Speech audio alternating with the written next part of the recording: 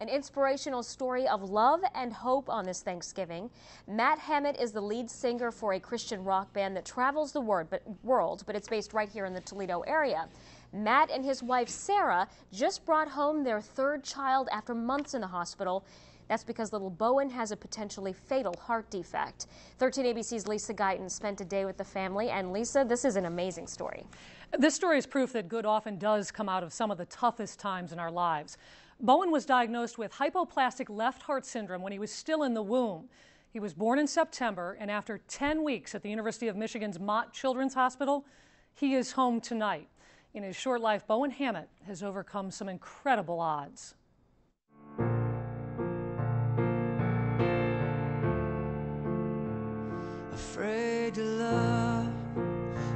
Suffering is a contrast point for uh, revealing all the good things in life. And that's what's happened to us over the past few months is that we've been so much more thankful for what we have because of what we've almost lost.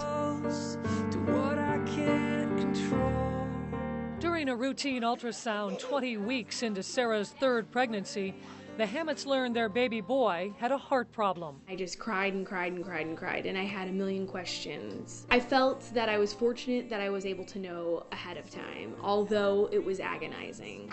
Yeah. Bowen Hammitt was born September 9th.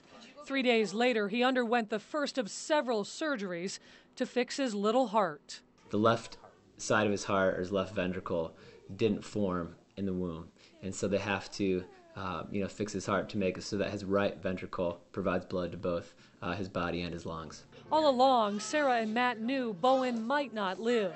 One of our nurses told us that her prayer for us was that we would hold Bowen loosely, and you know, Sarah kind of added on to that a little bit, saying, you know, we try to hold Bowen loosely but love him tightly.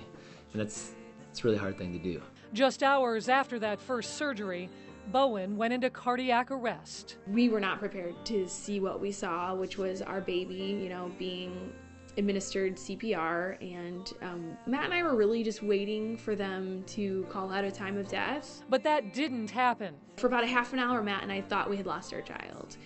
And so we actually felt like we had a second chance from that point forward. Like we've been given some extra time.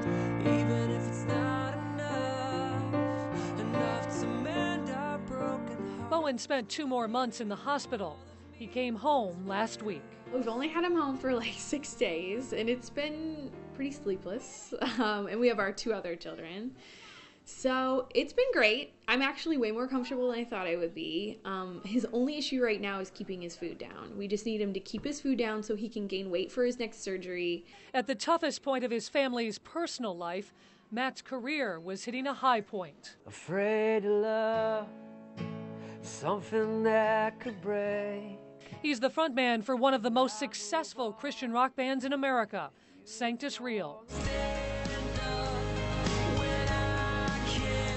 And for months, he's been balancing a concert tour and a family crisis. I would leave the hospital, and then I'm kind of thrown into this whole other world where we're having one of the best tours we've ever had, and um, you know, I guess dealing with the reality that things are going really well, you know, with the band, and uh, it's just it's hard to move back and forth between that. Bowen has a second surgery scheduled this winter, but for now, the Hammitts are enjoying every moment of being together at home. And I have been devastated, but I did get a peace that is unexplainable that um, everything's gonna be okay regardless of what happens. Going through what we've been through makes us realize what's important.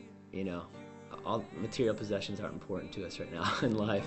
Um, you know, it's just our relationships, our faith. Those are the important things to us, and I would encourage people to really invest in those things above anything else in this life. Those are the things that'll last. It's where I'll start. Truly wonderful family with a great message that should make us all a little more thankful today. Bowen's second surgery is in February, then he'll have a third surgery when he's about two.